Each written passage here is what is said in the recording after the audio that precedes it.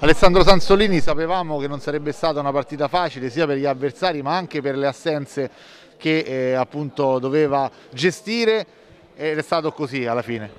Beh sì, effettivamente è il peggior avversario che potevamo incontrare in questo momento, anche perché veniamo da, da purtroppo un lungo momento di inattività forzata, quindi noi ci siamo rivisti ieri sera, siamo rivisti ieri sera e vabbè, abbiamo, purtroppo non sto qui a discutere sulle assenze, le assenze sono, sono state forzate, quindi è la mancanza di, di, di, allenamento e stare in palestra, quindi sera l'abbiamo pagata un po' e ti ripeto, purtroppo abbiamo incontrato la squadra più organizzata del girone. È stata l'occasione forzata anche in questo caso per mandare in campo tanti ragazzi giovani che hanno avuto più minutaggio.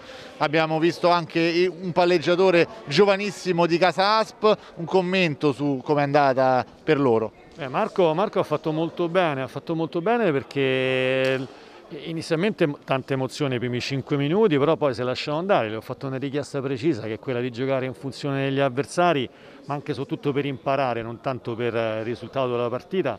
L'ha fatto, fatto, bene, il primo set ha giocato molto molto bene, poi la squadra non siamo riusciti a, a mettere tanto ordine, quindi va da sé che anche lui ha avuto difficoltà a gestire la partita, però a carattere, a carattere eh, è piaciuto molto, è piaciuto molto. Guardando il bicchiere mezzo pieno, meglio avere assenze in partite come questa che magari negli sconti diretti per questo famoso terzo posto che vale poi l'accesso alla seconda fase?